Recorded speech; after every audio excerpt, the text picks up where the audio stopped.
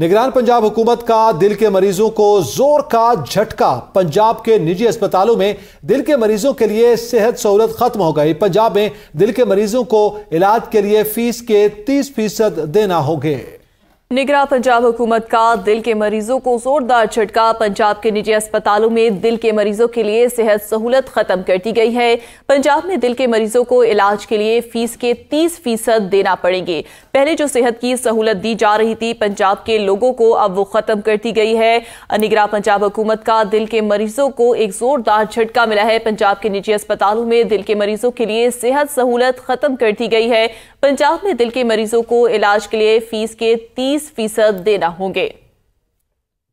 इस हवाले से मजीद जानेंगे ब्यूरो चीफ लाहौर उमर दराज गोंदल से जी उमर दराज गोंदल बताइएगा दिल के मरीजों के हवाले से बुरी खबर सामने आ गई।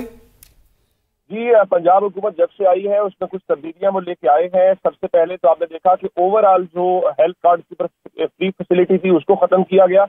उसकी एक जो लिमिट है वो बनाई गई जिसके बाद अब जो दिल के मरीज़ हैं उनके लिए भी ये कोई अच्छी खबर नहीं है।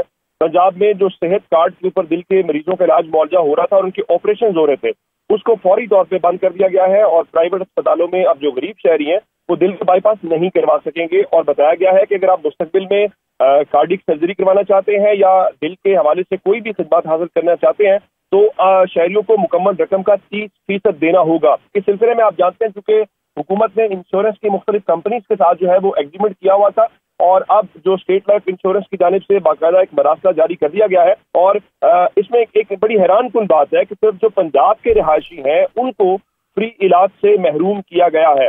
इस्लामाबाद समेत जो दीगर सूबों के लोग हैं उनका सेहत कार्ड के ऊपर जो इलाज मुआवजा है वो फ्री होगा। अब ये एक अजीब सी बात है कि जहाँ पे बहुत सारे दावे हैं वो किए जाते हैं कि हम शहरियों को सहूलियत फराहम करेंगे या उनके लिए आसानियाँ पैदा करेंगे। ऐसे में जब आप इस किस्म की करेंगे तो आम गरीब शहरी जो है उनके लिए सूरत हाल जो है वो मुतासर हो सकती है।